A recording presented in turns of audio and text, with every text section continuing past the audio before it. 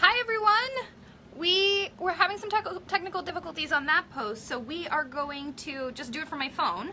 Uh, gotta go with it. Can you hold this for two seconds while I post this? Oh yeah, just careful, that's the camera right there. And we're gonna post this on the post that you guys are all commenting on right now. Um, see, there we are. It's going now.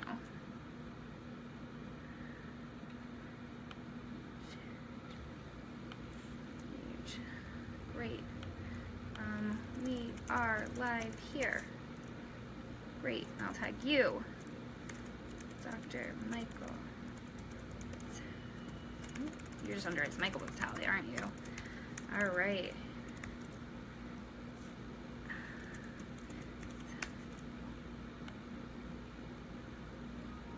Great. All right. We are live now. Um, hi everybody. Here, we can hold it. We'll hold it like this. Actually, your, arm, arm's probably longer than mine. Um, great. We're gonna get started now. So, hi everyone. I am Leah Stoltz. I'm the founder and president of Curvy Girls Scoliosis Foundation. Hi, I'm Michael Vitale. I'm uh, Chief of Pediatric Spine and Scoliosis here, and also uh, the Director of the Conservative Center for Scoliosis at Columbia University Medical Center. And we are really excited that Curvy Girls is bringing you our first ever live stream Q&A. And I think we're we're hoping that we're going to make this a monthly thing, maybe invite some other guests on, talk with a bunch of other people. Um, but we're really excited that Dr. Vitale agreed to be our first ever guest. Thanks for inviting me. It's a real thrill, and it's really Thank looking forward to doing it together. And thanks everyone for putting up with our technical problems. But I think we're in good shape now. So. Looks like people are starting to join, Excellent. so I'm happy about that. For those of you who don't know much about Curvy Girls, Curvy Girls is an international support organization for girls between the ages of 9 to 22. We have close to 90 chapters all around the world in about 35 states and 14 countries as of right now. So I think it's very possible that people are tuning in from not only the East Coast, but the West Coast or other countries, hoping, you know, we have a lot of groups in Canada. So hoping to have a lot of input from people all around the world. So good evening to all everybody. Good morning. Good afternoon. Um, I think we'll we'll get started. Um, so my first question, I'll, I'll start with one of my questions. I would like to know what you think the importance of support is in um, a girl's journey with scoliosis. Yeah, I think it's a great question, and I think it's it's key actually to any sort of medical diagnosis, but also, and in particular, um, to something like scoliosis, where patient engagement, family engagement, compliance with therapy can um, really have a huge effect on outcomes. So, first of all, any diagnosis in a teenager is hard. You know, we sometimes say adolescent idiopathic scoliosis would be a lot easier to treat if it didn't happen to adolescents. It's a tough time of life, Right. and people are changing, and social pressures, and you know, the concept of yourself. And I think the the power of knowing that you're not alone through the journey, that there are other people out there, that whether it's a crowded waiting room or an online community that that uh, like yours that you have so impressively co- uh, created, has a huge impact on people's um, ability to not only get through it, but to uh, be part of the treatment, own the treatment, and ultimately to have a much better outcome as a result. What, one of the things that we know increasingly about scoliosis is that um, your choices make a difference. People who are compliant with treatment, compliant with physical therapy and bracing, have dramatically lower rates of curve progression. So engagement of the patient, of the family, and really the whole team um, with the family and the patient at the center is really key. Yeah, that's great. And I, I love that answer because I feel like that's a huge part of what Curvy Girls is. So I'm just pasting this video because I know some people are still looking for it. Um, so let's see, let me mute this. Mm. URL. There we go. All right, I'm pasting this to everybody who is on that other video that we were trying to get up and working. So just give me one second.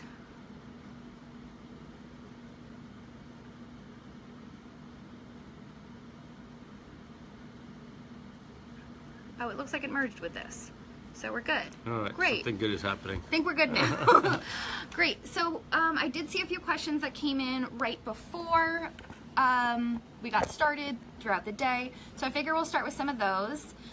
And one of the questions I saw was about pain management. So, what are some of your advice for, or tips about pain management um, post surgery or pre surgery when girls are having a tough time with their brace? First of all, uh, pain in um, adolescent people, um, back pain, is not that uncommon, regardless of whether or not you have scoliosis. So I think that uh, the, the, the, the, core things, the important things, are the basic things. Back pain has to do with keeping a, a strong core. Um, so that means exercises that support your abdominal muscles and your back muscles. The, the, the biggest two culprits for back pain in general in teenage people are backpacks. We know from well done epidemiological studies that when your backpack weighs more than about 7% of your body weight, um, you start having more uh, back pain. And the other thing is um, um, screen time. People who spend a lot of time in front of a screen have more uh, back pain. Generally speaking, uh, working with a physical therapist, particularly a scoliosis friendly, a scoliosis specific physical therapist, can have a huge difference. That's great. So I did hear you say backpacks. I, I want to just emphasize that because I think people have this like crazy misconception that backpa- backpacks can cause scoliosis. Yeah, thanks for pointing that out. And that's right. Um, studies have also very clearly and convincingly demonstrated that backpacks do not cause scoliosis. They do not cause scoliosis progression. They are a common cause of back pain, but they don't cause scoliosis. Great. Awesome. Um, I'm seeing a bunch of questions come in. I'm so excited about that. Uh, let's start with this first one I'm seeing. Can we talk about the importance of wearing the brace? Yeah, bracing is really key. We know from the landmark pivotal study that's called BrAIST, B R A I S T. This is a randomized study funded by the National Institute of Health that showed that kids who have uh, who are compliant with bracing, kids who wear a well-made, well-functioning brace enough hours a day, and we can talk about what that means, have much, much, much lower rates of curve progression. Um, in fact, the study was terminated early by the NIH because they felt it was unethical to randomize kids to not bracing given the early results of the study. Since that study, people um, have come around and realized how important bracing is, and there's big, much more emphasis both on the details of bracing, like in-brace correction, balance within the brace, and um, maybe even more importantly, compliance. Um, again, um, changing behavior is hard, and it really looks like we need to get into the brace at least 16 hours a day, if not more, um, for, for bracing to be successful. But in that subgroup of kids who are compliant, progression is much, much less likely. That's, a, that's great. Um, all right. Let's go to this question right here. Is physical therapy good? Yeah, we have a, um, a Center for Conservative Management of Scoliosis here with uh, several great uh, Schroth physical therapists. What the historically and unfortunately the, the, the historical idea here persists. Physical therapy in the past was not necessarily shown to dramatically improve scoliosis. That was before Schroth physical therapy and scoliosis uh, specific physical therapy really made its entree into the United States. Now, with modern techniques of scoliosis specific physical therapy, there are a number of really well done studies showing that people who are compliant with physical therapy have much lower rates of, of, of, progression. In fact, in a study done here at Columbia University, we showed that the subset of kids who really participated in Schroth over the long uh, run had much, much lower rates of progression than the rest of the kids. Bracing and scoliosis specific physical therapy are two of the three staples that we consider the mainstay of conservative treatment of adolescent scoliosis. That's great. And for those of you who don't know, can you define, explain Schroth for us? Schroth is um, is a school of scoliosis specific physical therapy that aims to teach kids postural education, postural re-education, uh, sort, sort of as if you're standing in a braced position. It allows people to understand their curve and three-dimensionally correct their curve almost at a subconscious level. Mm-hmm. People who are really good at Schroth can stand as if they are in a braced position even without a brace. And we think that especially during the period of rapid growth, that has a, a very important effect at stopping progression. In fact, four randomized studies have validated the effect of Schroth physical therapy. That's awesome. That's awesome. I, I know that I personally, I, I, you know, whenever I'm talking to a lot of surgeons from around the country, around the world, uh, I mean, especially in the U.S., a lot of them are starting to are have doubted Schroth, and I, I think my experience, you know, I've been in the scoliosis community for 11 years now, um, is that people are more and more starting to recognize that how important Schroth is. Um, and it's really cool. It's really awesome to see that change. It's amazing, and it's it's happened slowly. You know, um, I think that in American medicine, change comes slowly, and honestly, the medical community and surgeons, maybe in particular, are a little slow to embrace um, cutting-edge, conservative, non-operative treatments. Mm-hmm. I'm seeing this change so dramatically, and I have to give you guys tremendous credit for being part of the change that's happening. Thank you. Um, because um, this is one of the areas where the, the, the patient groups and the, the viral energy that you guys have created have pushed the rest of the community and dragged us all along. So it's slow coming, it's really important, and I would really urge you guys to seek out um, Schroth physical therapists and um, physicians in your community who um, are part of that care team and, uh, and um, are aware of all the opportunities that are out there. That's awesome. And I saw a follow-up question to that asking if this is only available in the U.S. Uh, I'm in Australia, but I, I think Schroth is all over the world. Is there a site that do you, do you know of a site to go to to find a close Schroth therapist? We, we refer um, our patients to the Hunter Schroth Physical Therapy site. Um, Hagit Berdishevsky is one of the physical therapists that runs the Schroth um, certification program, and I think that um, there are centers in lots of places around the world, um, um, but it's still sort of spreading. Um, That's awesome. Um, we have a question here. I'm wondering if you know of any research or any patients who have experience with chronic pain after surgery. Would a rod removal surgery help reduce pain? Oop, it jumped. Um, is it common for those with chronic pain to maybe have a secondary undiagnosed condition? Yeah, if you're having significant back pain after surgery, and I mean more than six weeks after surgery, um, and back pain that doesn't really respond to physical therapy, um, you really should be looking for another source of pain. It's really uncommon to have back pain after scoliosis surgery that persists. Um, and um, it would make me think if there's uh, something else going on. For example, spondylolysis is a weakness in the lower lumbar spine. That's the most common cause of back pain in teenagers, and that would be something I would be looking for with persistent back pain.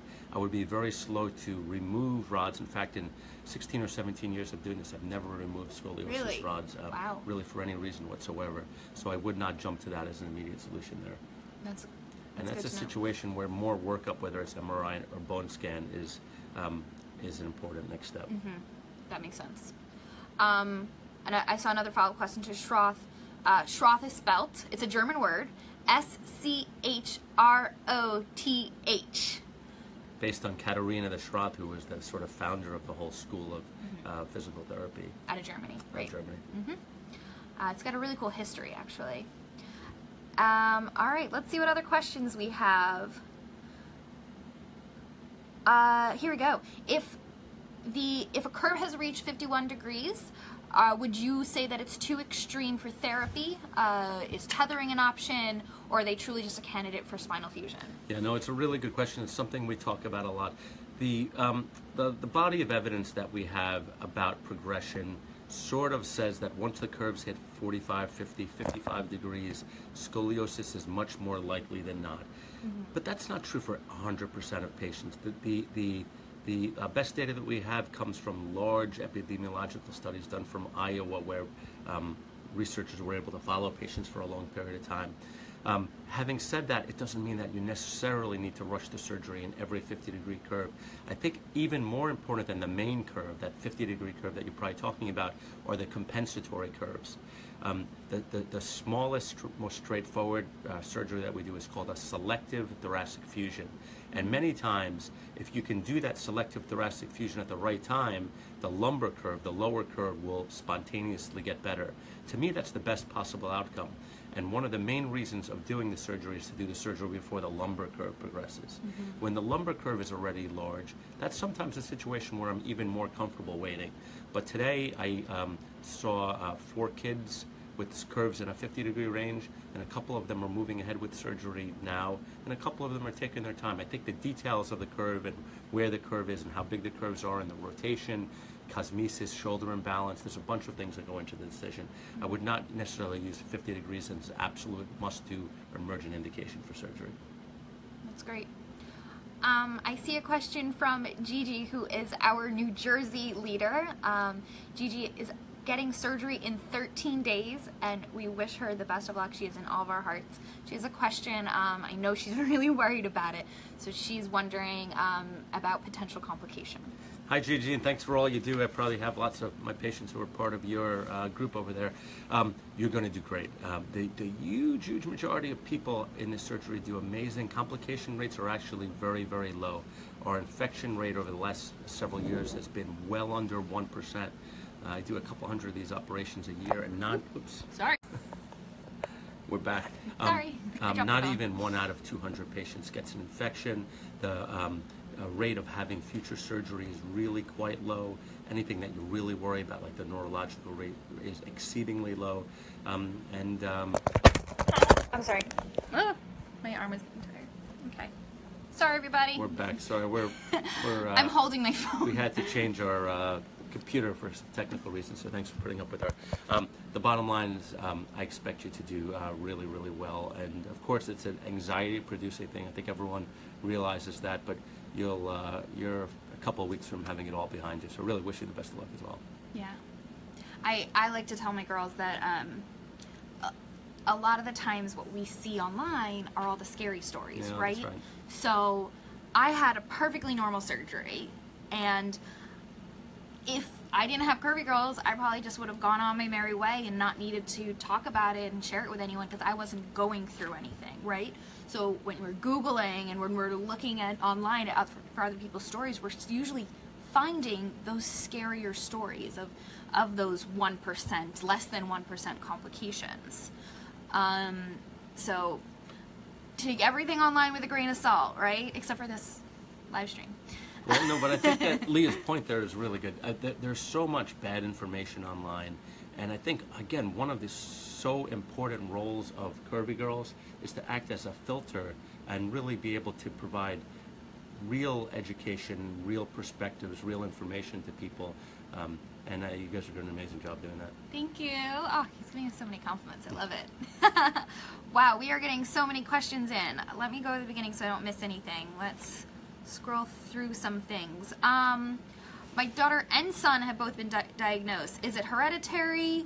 Um, Yes, there's a very strong hereditary basis for adolescent idiopathic scoliosis. About half of my patients have a mother um, or a sibling with scoliosis. Um, so we still haven't quite unlocked the genetic basis for it. There's no real genetic test that's really available um, today. Um, but if there's a family history, it makes us think a little bit more about early screening, early detection, and sometimes earlier conservative therapy.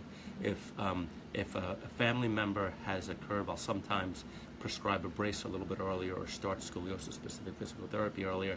One thing we haven't spoken about is sort of the third pillar of conservative treatment, and that's calcium supplementation.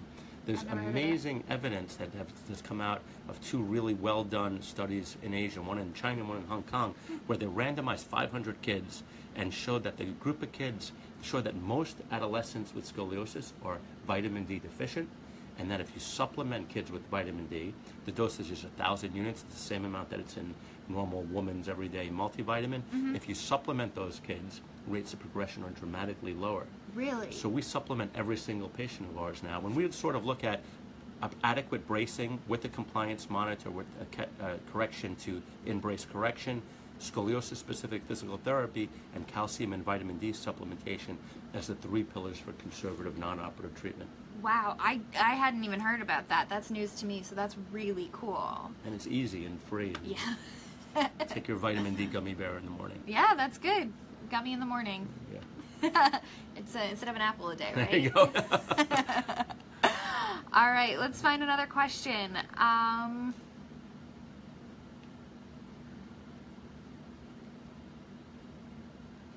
what does cause scoliosis? Do we we don't? That's the eye, right? we're learning so much about this, and there's, we're, we're getting closer to understanding of it. This vitamin D part, I think, is going to turn out to be an important thing. Um, vitamin D is um, a vitamin that acts to regulate your bone metabolism. it is responsible for osteoporosis. And we're seeing that many adolescents with scoliosis have relative osteoporosis. We think that something, some hereditary factor, which may be a subtle neurological or, or hormonal factor, initiates the scoliosis. But in the subset of kids who are uh, just a bit osteoporotic, meaning low bone density, um, the, the scoliosis progresses as the bone is not strong enough to stop progression. That's the role of bracing is to push back. It's the role of uh, physical therapy to create a strong core to uh, maintain um, the, the, the upright position. But we think that the vitamin D may be a real key to progression. So while we don't really understand the full etiology, we're getting much closer. That's really cool. I guess we're we're gonna have to call it something besides idiopathic soon. That's right, maybe. exactly, exactly. Um, how did doctors determine which type of brace is right for a person? So um, I have strong feelings about this now that I've uh, been working um, in this field for so long. Um, first of all, the most important thing is in brace correction. The studies that have come out really have shown that if the brace is not correcting the curve while you're wearing it, it's not doing anything. So if we're going to ask you to wear a brace 16 or 18 or maybe more hours a day, our job is to make sure that your brace is effective. It's critical and key to get a correction, to get an X-ray in the brace about six weeks after the initiation of bracing. We aim for a 50 or 60 percent correction in the brace. If you're not getting a 50 percent correction, go back to your surgeon, your doctor, your orthotist, um, and uh, work harder to do it. We should be able to do that. Um, in the most modern state-of-the-art braces, which I think is a Rigo brace, you're getting not only um, 50% correction, but sometimes even up to 100% correction. And the Rigo braces have the ability to three-dimensionally derotate the spine, much as you learn to do with Schroth physical therapy. The final part is sort of the sideways or sagittal appearance, and we're learning a lot. We're learning that people who are out of balance in the sideways lateral plane are more likely to progress. So a brace is not a brace is not a brace. In my view, a Rigo type brace, a Rigo Cheneau brace, a New York Rigo brace has the best chance of stopping progression. And once you're in the right brace, you have to wear it. We were joking earlier on, if I prescribe a really effective blood pressure medicine, but you don't take the blood pressure medicine, your chance of success is zero. And it's the same thing in bracing. In fact, I think every brace should have a compliance monitor built in. There are mm-hmm. really great compliance monitors now that can tell you, me, your orthotist, your mom, whether or not you're wearing the brace, how many hours a week you're wearing the brace. We know that the two things that dramatically affect your ability to stop progression are good in brace correction and number of hours of brace wear a day. And those are the two sort of key, key, most important things in non-operative management. That's awesome. Let's see what el- what other questions do we have? Can swimming help my scoliosis? Um, swimming and general physical activity is great. It's so important for the developing body, for um, the psyche, um, but it has not been shown to have a specific effect on decreasing curve progression. Um, in fact, people have looked at all exercises and physical therapy in general. Um, in the best um, study, study done um, out of Italy, they did a, randomized study of regular physical therapy mm-hmm. and scoliosis specific physical therapy. Mm-hmm. And the group of kids with regular physical therapy showed curve progression, and the group of kids who had scoliosis physical therapy had their curve get a little bit better. Mm. To me, that's the best evidence that you really need to be doing the right type of physical therapy. Details matter in this area, and just like you need to be wearing the right brace, to me, a off-the-shelf standard TLSO is probably not the best brace to use. Right. Just like you need to be doing the right brace, you need to be doing the right type of physical therapy. Right, that makes sense. And then I saw, actually, I saw another question about uh, SpineCor. I don't remember where that went. Right. SpineCor is a brace that um, had some appeal early on because it um, did not have a plastic shell and it had sort of straps that, although a little bit more cumbersome to get into, allowed kids a little bit more flexibility in the brace. Early on, there was a lot of enthusiasm about it. Unfortunately, a number of studies came out um, over the years showing that the efficacy of the SpineCor brace was really not where we needed it to be. Um, these days, most people are only using spine core braces in situations where kid just simply won't use another brace. It's pretty controversial whether or not SpineCor bracing has any role in modern management of scoliosis, in my view, anyway. That makes sense. Um, while we're on bracing, I see a question. If someone only uses a back brace at night, Um, so what do you what do you think about night bracing? Okay, really interesting area. Um, first of all, there's two types of night bracing. There's the overcorrection type of night brace. These things are called Charleston or um, The bending brace, bending right? Braces. called, yeah. That's right. There's a Rigo N brace standing for nighttime as well. Oh, I hadn't heard of that one. Those braces have pretty good data showing efficacy in smaller curves Right. and in single curves. Right. There's a large group of curves that those braces are not ideal for, so you really have to get into the details of your curve and what's right for your. Those braces can make the, the lower curve get worse because Mm-hmm. it's only bending one way as opposed to a three-dimensional brace that's correcting both curves. Right. I generally only like those braces for single small curves in kids who are at, at relatively low risk of progression. Mm-hmm. Older kids, kids without a family history. It's not my mainstay for younger kids with larger curves. That makes sense. Um, this is an interesting question. When does the curving of the spine stop? Does it stop when you stop growing? Okay, so again, um, we know a lot about curve progression. Curve progression is fastest during the rapid growth spurt that happens around puberty. The best way of assessing that is actually with a hand X-ray. That's called the Sanders score, and I see some questions Mm-hmm. Yeah, I about saw that Sanders question here. up there. So we know that the traditional ways that we've been looking at um, growth and rapid growth um, are probably not the best ways of doing it. People have been using something called the Risser scale. It's not the optimum way of doing it.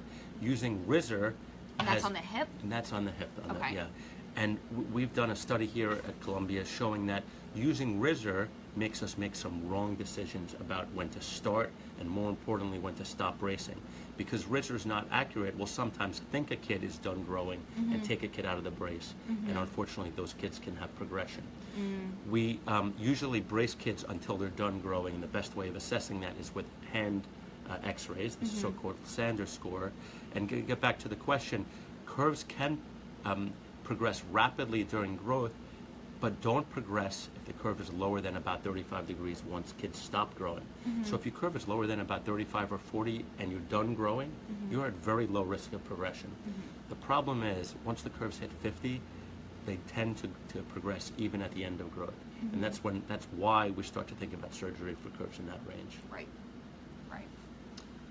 Um, great. Let's see what else we have. Uh, oh, this is from uh, one of our senior leaders, she, uh, Jillian. She was our former Toronto leader. She wants to know if you can have an MRI after spinal surgery. Yes, absolutely. Most uh, modern day surgery happens with sort of titanium alloy rods. They're MRI compatible. There's absolutely no problem with having an MRI. Right around the spine, uh, instrumentation for a centimeter or two, you can have some artifacts, some blurriness of the MRI, but there's no reason that you could not have an MRI at after scoliosis surgery. And that's why we don't go off when we go through metal detectors at the airport, Yeah, right? that's exactly right because it's titanium. Right. Because I we get that question all I do all too. my I know, friends I ask me too. that question. Yeah, right. It's it's funny. Um, all right, let's see what else we have.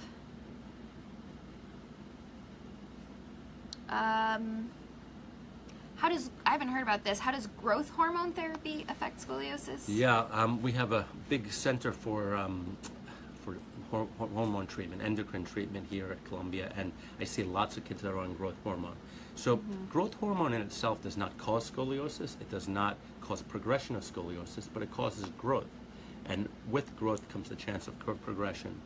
It's very rare that we'll stop a kid from being on growth hormone um, because of progression, because we have great non-operative ways of stopping progression. Again, with the bracing that we're talking about, with uh, Rigo bracing, with uh, physical therapy. But um, it is something that you have to have a careful conversation about um, because um, some of the details there get a little tricky. That makes sense. Um, let's go into. I just saw the question. I wanted, and I lost it. Um, oh, here. Uh, let's talk about sports after surgery. I think I was really active after my surgery. I played golf, was a dancer, and the question here is somebody who plays volleyball. Um, she's always worried that an injury is gonna, you know, cause more trauma. You should really expect to get back to um, all of your activities after surgery, but the details again matter. If you have the most selective surgery, the smallest surgery, a selective thoracic fusion, most kids don't miss, don't lose any uh, motion or flexibility at all. In fact, I operated on um, an extremely high-ranked squash player in the country. She had a selective thoracic fusion, and she went on to be one of the top-rated squash players in the world awesome. after her surgery. I wouldn't necessarily um, expect that same level of super competitive activity if she had a fusion way down low, Mm-hmm. but for the most part, even in recreational dance, sports, gymnastics, people are really able to get back to um, full activities. I let kids get back to almost all activities as early as six weeks after surgery. That's great. That's awesome. I know. I know. My surgeon um, told me after my surgery, said if you know nine months down the road, if I can't, you know, uh, what was it? If I can't play golf, if swinging, if swinging a club, you know, messes up my back, then he didn't do a good job with his Right. Well, surgery. that's like right. That's the right. fusion should be able to. It should not get in the way of anything you want to do. Right. Right. That's great. Um. Let's see.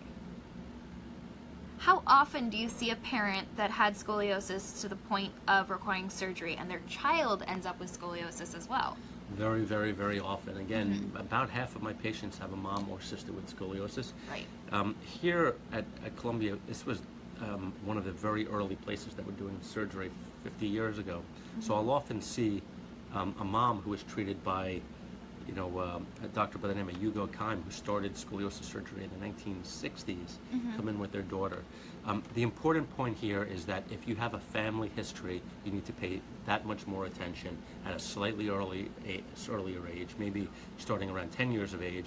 And in my view, we need to be more um, aggressive about early non-operative care, early scoliosis-specific physical therapy, and maybe even think about using a brace a little bit earlier than normal, Right. Right. So that make yeah. and calcium supplementation. Right. Calcium and That's vitamin cool. D supplementation. I, I'm, I'm excited that I learned something new during There you this go. too. Um, can we talk a little bit about vertebral body tethering, otherwise known as VBT? Okay, anterior vertebral tethering. This is something that I think will someday be a real option in the field. Um, this is a way of trying to uh, take advantage of the growth in the front of the spine, where the growth plates are, and um, to make the curve resolve or go away. Um, the problem is there's always so much enthusiasm about any new technology. And the, the sort of first generation early technology here wasn't really developed for um, teenagers, it wasn't really developed for scoliosis. Um, and there was a lot of early enthusiasm about it. Unfortunately, the studies now that are coming out two, three, four, five years after the initial tetherings are showing sort of mixed results with a lot of curves re, uh, um, reverting and a lot of the early tethers breaking. Nothing bad's happening to the kids, but Okay. it looks like many of them are their curve is coming back. Um, we're really hopeful that new advances in technology, um, new type of implants, stronger tethers, better idea about who to tether when is going to make a difference. Um, but tethering is still um, on the fringe of what we do. All I do is scoliosis uh, treatment, scoliosis surgery, and I haven't really been willing to jump into tethering yet based on what I know about the outcomes. That makes sense. The other way of looking at it is that the outcome of um, of a selective fusion is so good that um, it's a bit of a gamble to take um, a chance on an experimental treatment. Um, but again, this may change over the next few years as there's innovation in the field. That makes sense. Um, let's talk about chiropractors. Okay, chiropractic, a very common question that I get asked a lot. Um, unfortunately, I, I am totally okay with um, chiropractic. I think that um, in a teenager, there's really no chance of any harm happening, um, and it, chiropractic can be really helpful um, with back pain. It's one of the most uh, efficacious treatments for back pain. There's really no evidence that chiropractic positively impacts curve progression. Uh, in other words, I, I would much rather see you spending your time with scoliosis-specific physical therapy that has real evidence backing it um, for curve progression. Um, if it's for back pain, it's a different story. That makes sense. Um, let's see what else we have.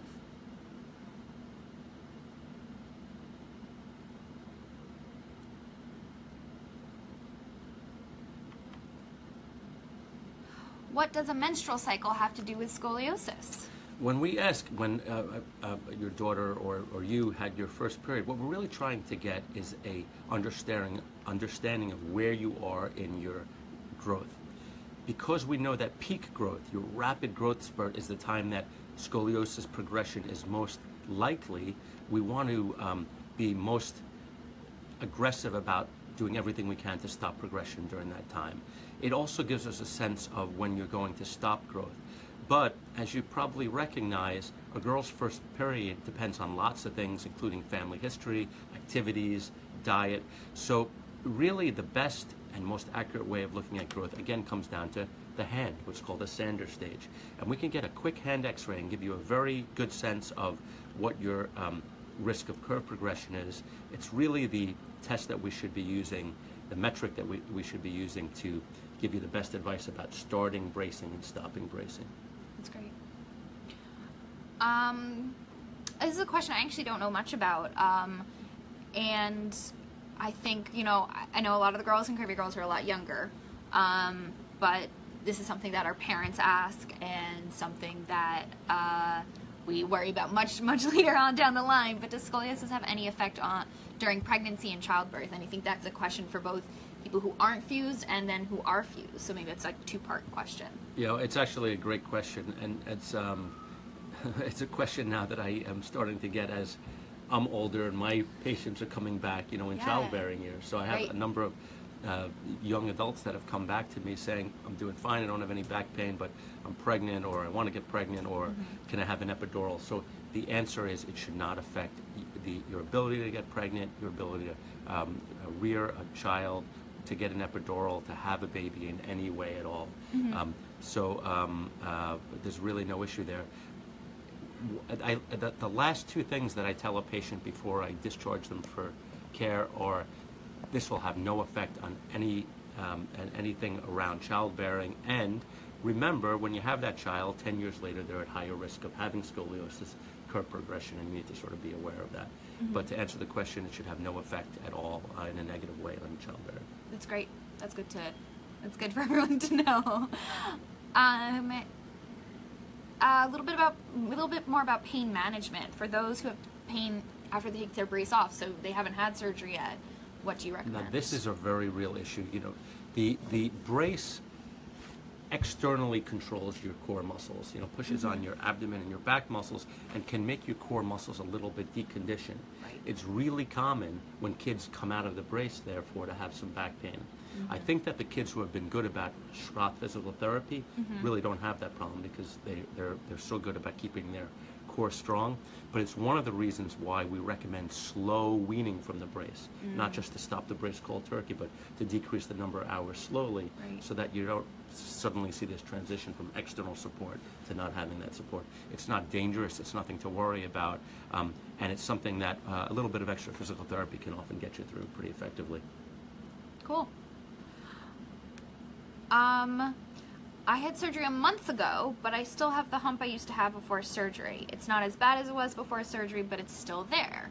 The hump is not necessarily the, the curve that you see on x-ray, but it's the rotation of the spine. Right.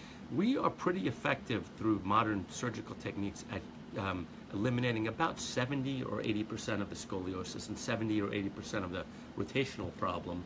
Um, but um, you should expect a bit of residual scoliosis and a bit of uh, rotational um, asymmetry. Um, again, the, the, the reason we're doing this is not cosmetic, but I totally understand the issues regarding Right. symmetry and body image that are a real part of um, people's concerns about scoliosis.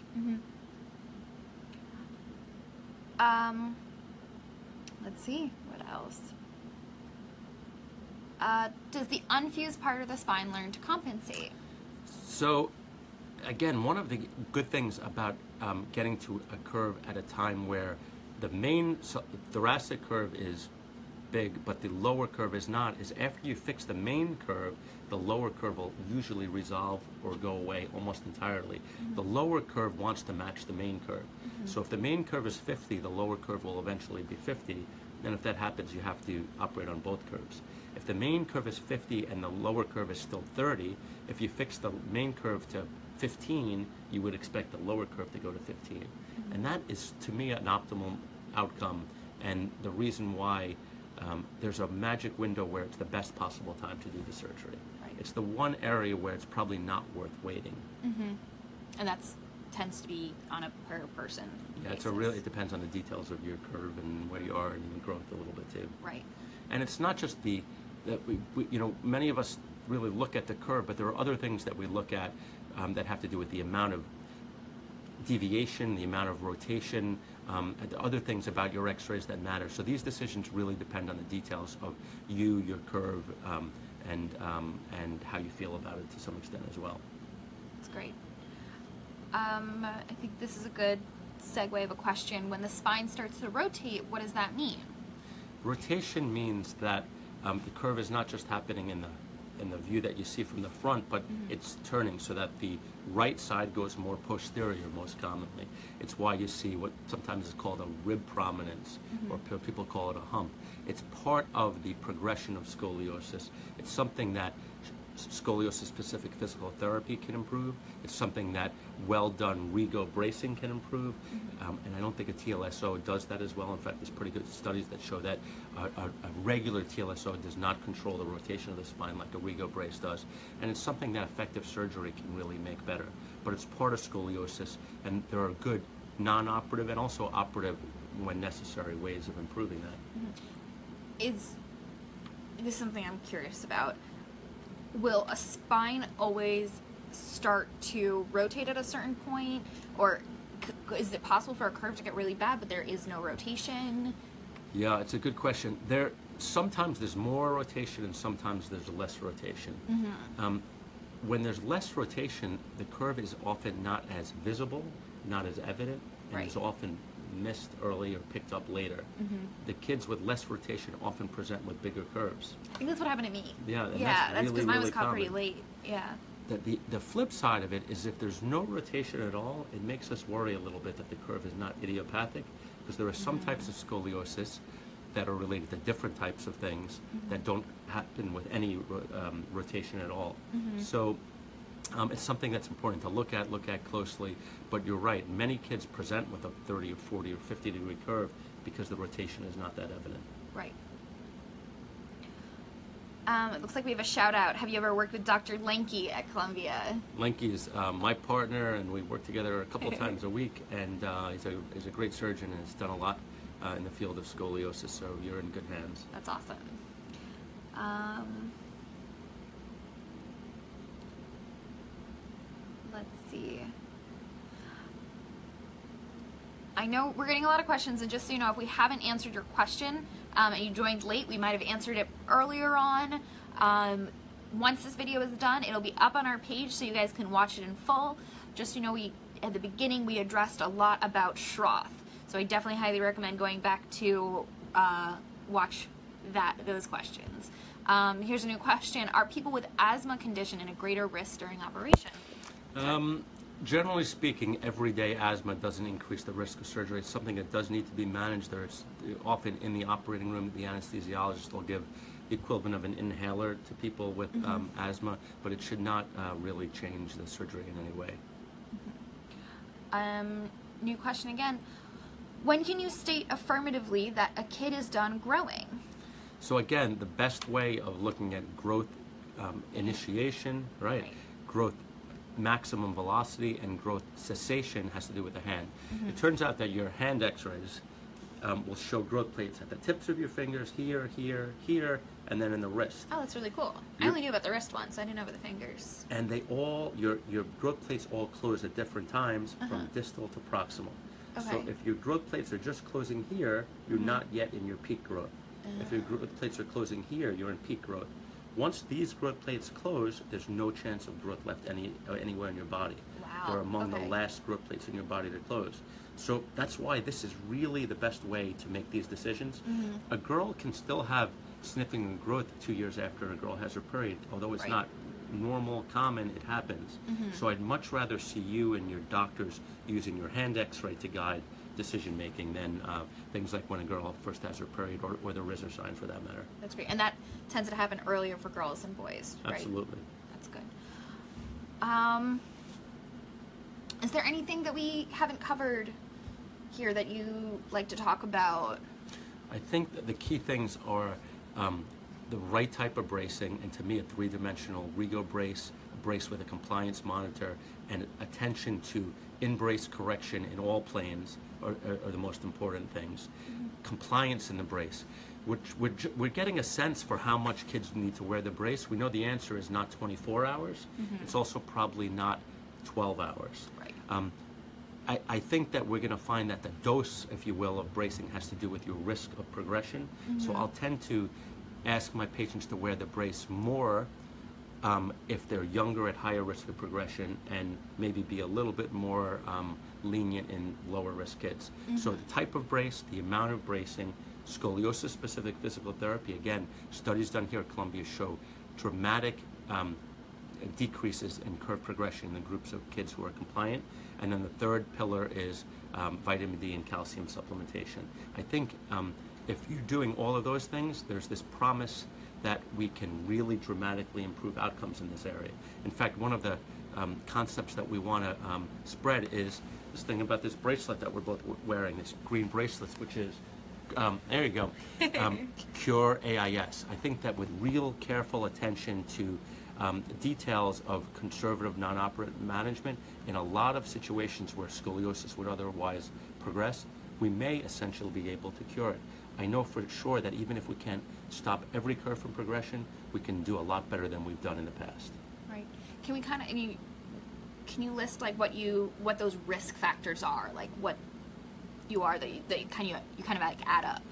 So uh, the, the things that I think about um, with regard to risk are family history. Mm-hmm. There are kids where I've operated on three sisters in the family. Wow. Mm-hmm. That's probably a different type of scoliosis, and maybe that's a scoliosis that won't be amenable even to the best conservative treatment that we have, Mm-hmm. although we always try.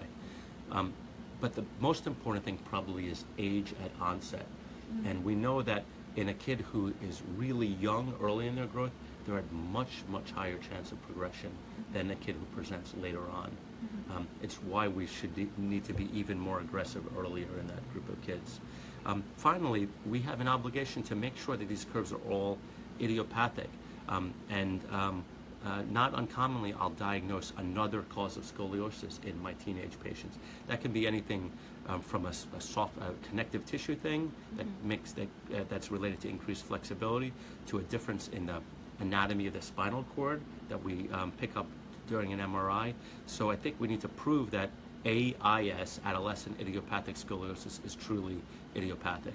That's great.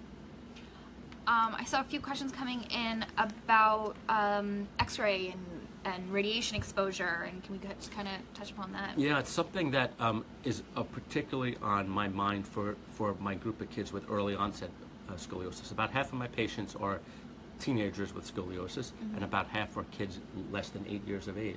Right. It's not that uncommon to have scoliosis for a number of reasons earlier on. And if you think about it, a kid who comes to see me at two years of age is going to have lots of x-rays over the course of their life Hot, yeah. It's the reason why EOS, the, the new generation of X-ray, um, has uh, promises such an advantage. EOS X-rays have almost no radiation um, exposure. Now the truth is, the long-term studies of even traditional X-ray don't show a real difference in risk over uh, term, but it just makes sense that if you're going to have radiation exposure. Three times a year during your period of rapid growth, it'd be better to avoid that. Right. So um, to me, I really think it's important to find a place that has EOS X-rays. And it's EOS, E-O-S, EOS. all capital. That's right. Um, that's another thing that's coming over from Europe to us. That's right. It was a Nobel Prize-winning. Oh, uh, really? Yeah, I didn't know that. technology. Um, awesome. And it's hard. It's a million-dollar machine that you know, has to be, uh, you know, purchased, and you need a whole room to do it. But I think it's really worth it. It's part of what I consider best practice for scoliosis. That's awesome. Um, this is an interesting question, and um, how can we get the word out? Is it not mandatory to screen in all states? Uh, this is um, something that's close to my heart. So, at one point, the United States Medicine, Preventive Medicine Task Force felt that there was not enough evidence that bracing works to mandate school screening. They wrote a paper. Uh, our organization, the Scoliosis Research Society, countered this in an article that I wrote saying that we did not agree. Um, and in fact, once the brace study came out that convincingly showed that if you brace kids early, they're much less likely to progress, um, there's been a wide scale recognition that early screening is important. Um, the USPTF has not come along yet to change those guidelines, so states are not obligated to screen. I think it's a little bit of a shame because early detection um, means less likely progression um, with the right type of non-operative conservative uh, treatment. Um, screening doesn't have to be as part of a formal program. It can be in the in your pediatrician's office, or it can be just looking at your kid closely for shoulder asymmetry and a difference in uh, scapular or the, uh, the shoulder blades, a difference in the, the flank crease. Um, so if you see a difference, just get to your doctor. Right. That's good. That's great information. Uh, all right, it's been it's been close to an hour. I don't want to keep you too late. He's got four boys to get home to. Yes, that's right. There's lots of information on my website, which is pediatricscoliosis Curvy Girls is probably the best source of information in the universe for Oh. the adequate, uh, the, appropriate management of kids with scoliosis. So it's been a real pleasure. I really appreciate you inviting me, Leah. Thank you so much. And again, we're hoping to do this more often. We're looking to do this about once a month, bringing in different people. Um, so maybe a Schroth therapist next time. Um, hopefully, get Alyson Gerber, the author of Brace, soon.